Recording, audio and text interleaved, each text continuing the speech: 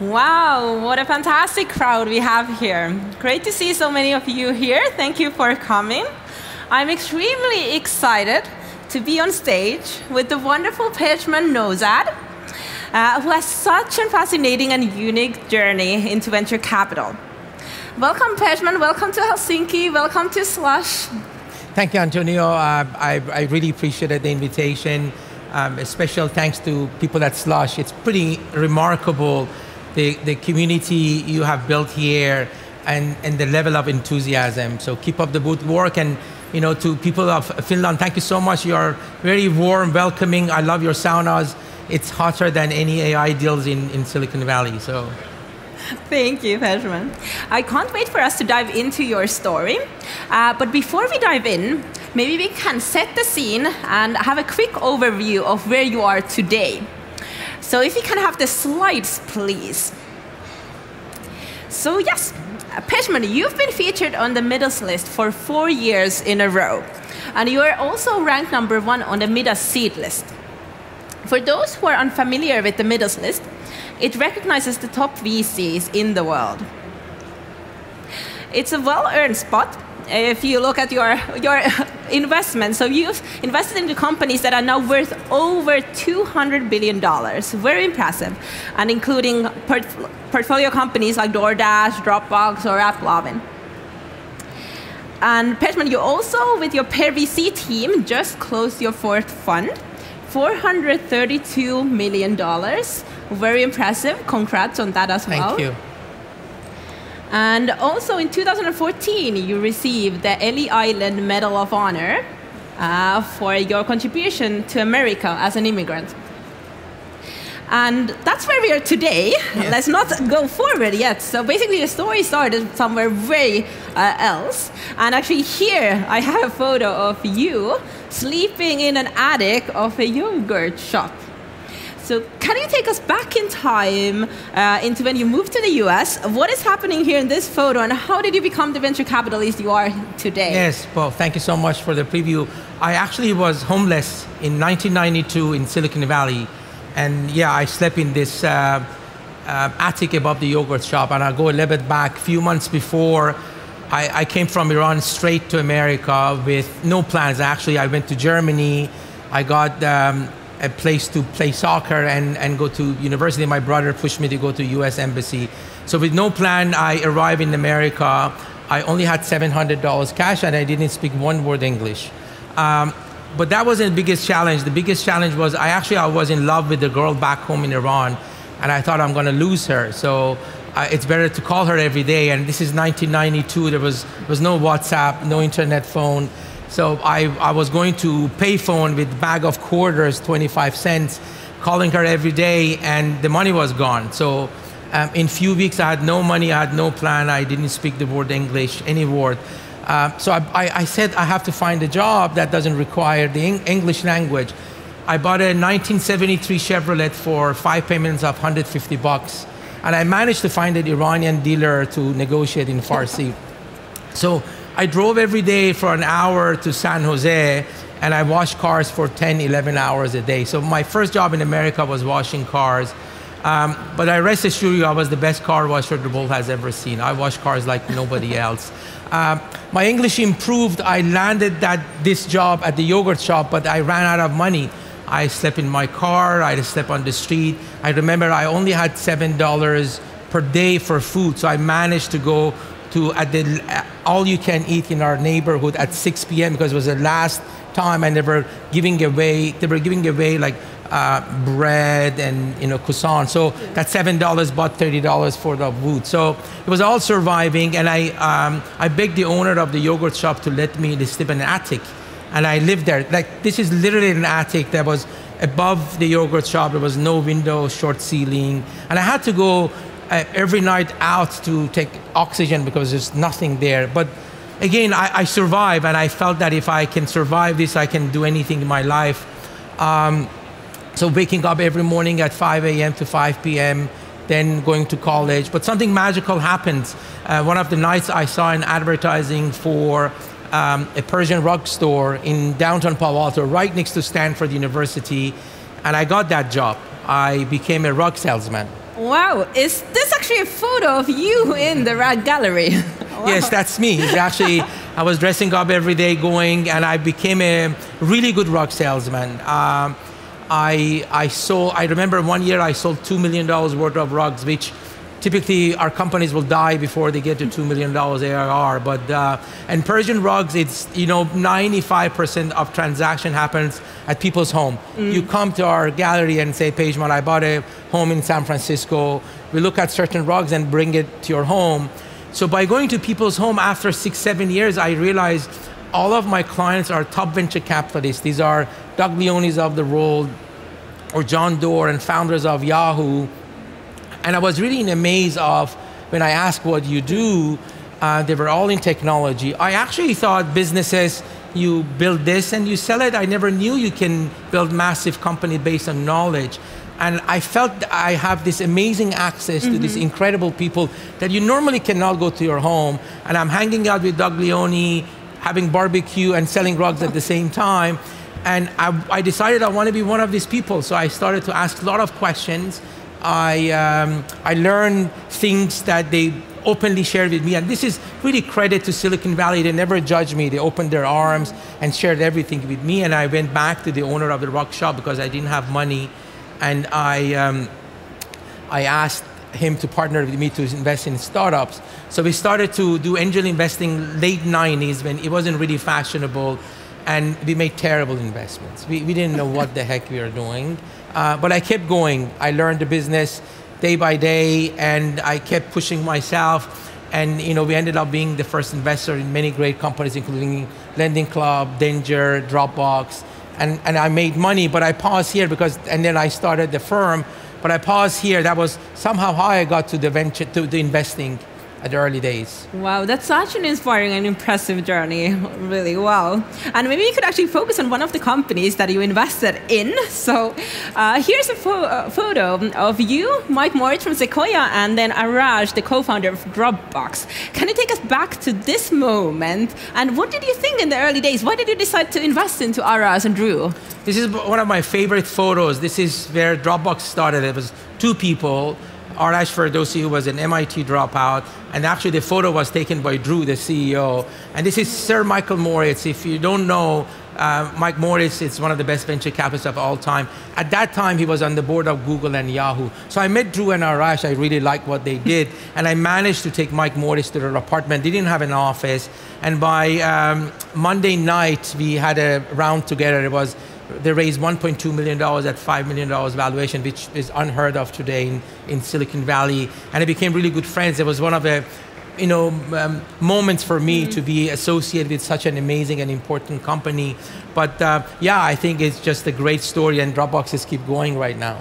Exactly. And here's actually, if you fast forward like a decade forwards, here's the Dropbox IPO, and that's you, Arash and Drew, right there in the middle. And I, I see you look very excited. Yeah, I'm actually more excited than the founders. Like you can see, it's pretty yeah. incredible that how excited I was. But you know, the reason I want to talk about Dropbox, and especially for the entrepreneurs in the audience, when we talk about these glorious companies, we always think about these moments. But every company starts at day zero, even minus one. I think the, the way you look at how, what you built and how you built it is look at the previous photo that that company, that, that apartment can become a $10 billion company one day. And that's really the power of technology and being an entrepreneur. And how do you then maintain the relationship with these founders where you're at the very earliest stage and then until the IPO? How does it change in between? You know, the early days, even at our firm today, we worked with them the first three years, mm. but I kept really close relationship with the with the founders. One of the things I do when our companies grow and they're out of our investment kind of the profile, every six months or one year, I send an email to the founders, Drew, and said, "What are the three things you need?" and you know, I make, I, I move mountains to actually deliver one of them. So, and actually be kind to them, be good to them. And, you know, today, actually they are investor in my fund. So they're pretty incredible that you know invest in that in that apartment and they become your LP. Amazing. It comes around then. exactly. Uh, actually, here in 2013, then, uh, you founded PearVC with Mar. Uh, and now you're a team of 25 people managing over 850 million dollars. Uh, what was the start of PearVC, and how has it gone that now you have a team of 25? Yeah, so I um, I started to do angel investing on my own. Around 2009, I realized there's an opportunity to build an institution to serve founders on day zero. The question was, can I walk to a room like this and say, I'm your best partner, take my money? And the answer was no. Mm. Although I had a great track, track record, everybody knew me, but I never built a cheap product. I actually never worked for the tech startup. And so I knew I want a partner who has been an entrepreneur. And then Mar, I know Mar now for 24 years. Um, I was very lucky to invest in her second company.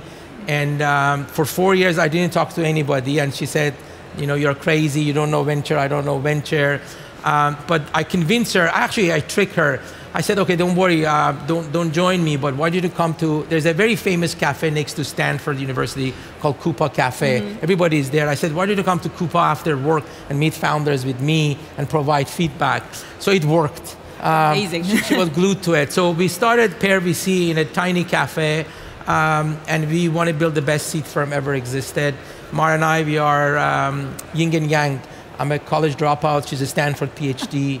Um, I think she has 14, 15 patents. I have zero patents. She's a professor at Stanford, but great complementary skills. So fast forward today, um, you know, by, by numbers, we are a top 5% performing fund in the world. Um, we have a team of 25 people. Our investment team have started and sold 13 companies, so there are a bunch of entrepreneurs. But we provide beyond investment um, advice. Uh, so we have a platform. Mm-hmm. For example, we have four senior recruiters in house that they hire um, employees for free for our companies. Last 18 months, I give you an example, we hired 133 people for our companies. We built the biggest AI studio in the world, it's a 30,000 square feet office in San Francisco. I really encourage you, if you are in San Francisco, come and see it. It's just pretty remarkable what's going on over there.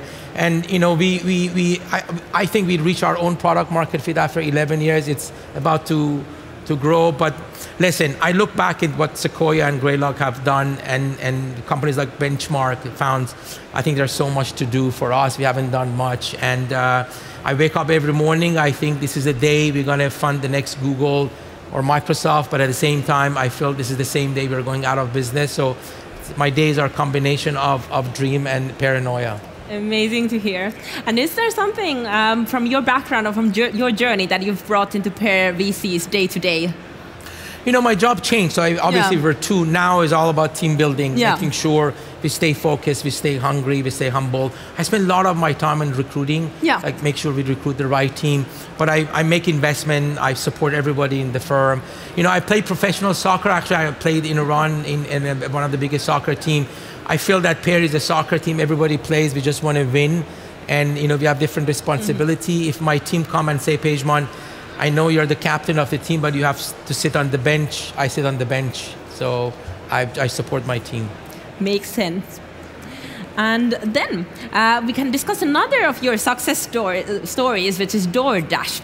Uh, so you turned a 1.9 million dollar investment into 375 million return. Uh, what made you excited about DoorDash in the beginning? Yeah, it's a great story. After Miki was here, and it's pretty remarkable that they're partners with DoorDash exactly. now. Um, so we met the founders of DoorDash when they were four students at Stanford. They they used to work in a home next to uh, Stanford University. And it wasn't like that. We mapped the market and we thought, oh, um, delivery is a big business. In fact, when they started, uh, the estimated market in America was only $3 billion. Um, but we met an incredible team who were committed to solve a real problem. Um, and we spent time. At the time that DoorDash started, by the way, um, there were 20 other companies doing the same thing. Uh, but once we started to meet Tony and the rest of the team, it was very clear this is the team we want to back. One, they were all mathematicians and scientists. They want to build a technology company. Two, they never touched the food. So many companies said, we make the food and deliver. We, we knew the unit economics was not there. And the, from the beginning, Tony, the CEO, never said that this is a delivery company. He said DoorDash going to enable in e- uh, local, local commerce to grow, and we're going to solve the first problem they have, which is delivery. And then stuck to it even today. Um, it's pretty remarkable. So we invested in seed, $250,000. Then we invested in Series A, $400,000. Sequoia did. I think the biggest decision Mar and I, my partner, made was at Series B because you know when you have $50 million fund and Series B was at $600 million valuation, and it wasn't really clear who is the winner. Uber was coming, people questioning uh, delivery, and we put 1.2 million dollars out of Fund One, which is only 50 million dollars. So even some of our LPs got very uh, nervous, and you know we uh, it you know from 600 million today 70 billion dollars. So it's it, today looks like no brainer, but at that time yeah. it was a difficult decision. So one of my advice to any manager here who's starting, like you, you really want to double down on your winners and go all in. And, and that was uh, that was the whole reason. By the way, um, I haven't sold a single shares of DoorDash. That's how much I believe in the company. So. Wow, amazing! That's impressive. uh, and you have written a lot of these early checks, so it's not to DoorDash and Dropbox, but also like AppLovin, Gusto, and so. Uh, what's the common characteristics with these founders that you've bet into? Yeah, that's a good question. Um, so the typical things that generally you heard from everybody is like you want to make sure that the founders deeply understand mm-hmm. the market and problem. They can um, really um, share a lot of information. They're they're committed to be entrepreneur. I spend a lot of time getting to know the founders and the chemistry between the team. Um, so that's very important for me because if they can get along, there is no clear um, understanding who makes what decision. It's very hard to fix it as a venture capitalist down the road. Um, but there are things that I've seen among the best entrepreneurs. Like one, they are paranoid in a healthy way. Mm-hmm. They wake up every morning, they have this vision, but they question themselves. I think they're captain of the ship. They believe their team and their customers is beyond them. They are lifetime learners. They actually, as the company grow, they grow. Like when we, when I met Drew, the CEO of DoorDash, I'm the CEO of Dropbox. He was a hacker, and he never managed a person, but he taught himself to, to be a leader. In fact, um, I, I took 20 students one day lunch with, with Drew, and one of the students says, "How did you become a leader of a 10 billion dollars company as being a hacker?" He said, "Listen, when we st- I started Dropbox, I um, I was I never managed a, a, a single person, but I felt that I can commit myself, I can I can grow." And he started to read books. You know, by the way, you, you should search Drew Houston book recommendation. There's a there are 23 books he recommends every founder should read, and I encourage you to, to check it out. And now he's not only a CEO of uh, Dropbox, he's on the board of Meta. Think about it. So, um, you know, the best founders are lifetime learners, and uh, and the other one is let's just go to the areas that their their weakness, and they become the best at what their weakness was. Like if you're they're not a good public speaker, they become the best public mm-hmm. speaker. So go to the places that you're uncomfortable and become really good at it. I think that's a great tip for everyone in the audience as well. But uh, what would be your best learnings then for the investors and the managers um, in the audience uh, from what you've learned during this time? You know, I think you, uh, you, the, the number one advice or suggestion I give to investors is like ask yourself why founders should raise capital from you and have a clear answer. So find your superpower and double down on it. In the world of so much capital, entrepreneurs have so many options. So why taking money from Pear VC? We every day we want to make sure that we have the right answer for them. That makes total sense. And also, interestingly, I read about you guys that you don't hire just traditional VCs into Pear VC, but you have another strategy. Can you share a bit more about that one? Yeah, we actually never hired an investor in yeah. Pear. It's everybody, the investment team are either entrepreneurs or early operators because at the stage we get involved, there's an idea, a prototype, you have to go on the whiteboard and if you haven't been a founder, it's very hard. So, but we train them. They come to, to our companies, to, to our firm, and we train them as an investor. We can't train them to be founder, but we can train them to be investor. That makes sense. And as we're nearing uh, kind of the end as well, uh, is there some tips or something that you would like to say to the founders in the audience now that are listening and wanting to build the net, net, next Dropboxes and DoorDashes? I can say that uh, nothing extraordinary is easy and often is unpredicted. And you know, success comes to people who um, who keep pushing. Um, I think setbacks is part of the journey. Um, I survived because of my commitment to myself. So I think uh, perseverance is the key. That makes total sense. Um, also, one more thing that came to my mind. You told about the story that you were calling this girl uh, back home. What happened? What do you think? Um, we just celebrated our 31st anniversary, so. Amazing! Congrats, congrats. And it's Yeah, that's, yeah, that's, that's her and my two, two beautiful children. Oh, wow. That's wonderful Lori. Uh, but yeah, I think thank you, Pejman. Thank you so Uh, much for having you. me. This was great conversation. And thank you, everyone. Thank you, everyone.